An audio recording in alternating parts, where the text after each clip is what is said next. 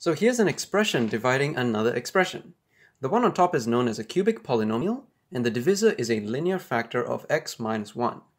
Most students learn to divide these off using long division, but that's a really long, outdated way of doing maths. Here's a much quicker way. This is known as synthetic division. Many teachers will say this technique, while incredibly fast, is limited to simple problems. They are right, but not entirely.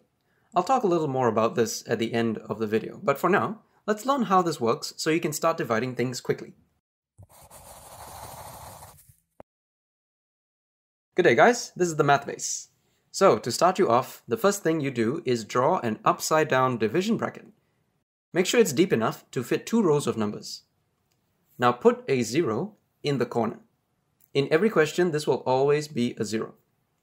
Next, pluck out the coefficients from the cubic and write them in the top row as 2, negative 5, 1, and negative 3. Now, our divisor is x plus 1, right? The opposite of the number here is negative 1. Write this outside the second line. Then, isolate the last number. The second row will have products, while the third row will have sums. Starting from the left, add 2 with 0 and write the sum below. Next, times this sum with negative 1 and place the product inside. Now add negative 5 with negative 2, writing the sum below. Then multiply negative 7 with negative 1 again. That product goes to the next available spot in the second row. Repeat this alternating process until you reach the end. Whenever we do a division, it usually gives us a quotient and a remainder. Here, 2, negative 7, and 8 are coefficients of the quotient, while negative 11 is the remainder. The quotient is usually a cubic or a quadratic. To figure out which one it is, take the highest power from your numerator and divide the highest power from the denominator. This leaves us with x squared. So we need to write a quadratic expression, meaning it's 2x squared minus 7x plus 8 and we minus 11 over the original divisor to complete our answer. But how do we know this is correct? We can find out by subbing negative 1 into the cubic. Doing so gives us negative 11. This is our remainder from the division. And it's not a coincidence that this value is down here as well. When they match, there's a really good chance that you did this correctly. It's pretty tough to get this right by accident.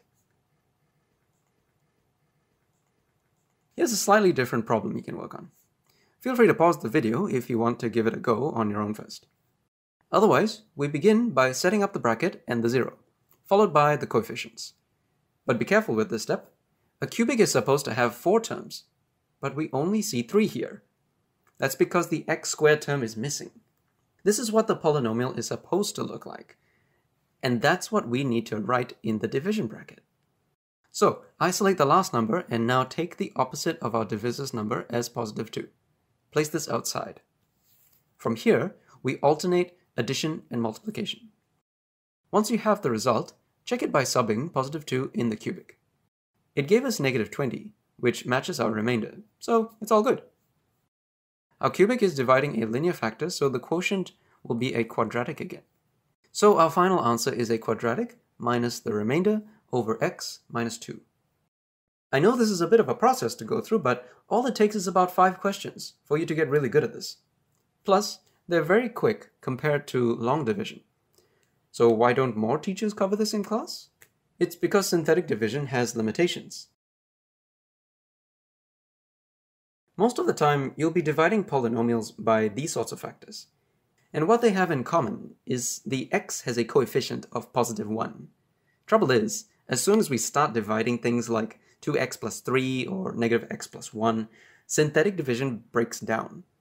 In other words, it only works when x has nothing in front of it. And the fix is pretty easy. You just need to factorize the divisor first. It'll create some fractions, but long division would still be a nightmare in comparison. Another special case is when polynomials divide quadratic factors. In my opinion, I think long division is okay for this, but what most teachers don't realize is that synthetic division can do it as well.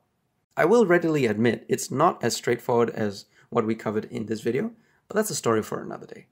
So if you guys enjoyed the video or found it helpful, please leave a like and let me know what you guys think in the comments below. I upload videos every Friday, so subscribe and ring the bell to stay in touch. Thanks guys, see you next time!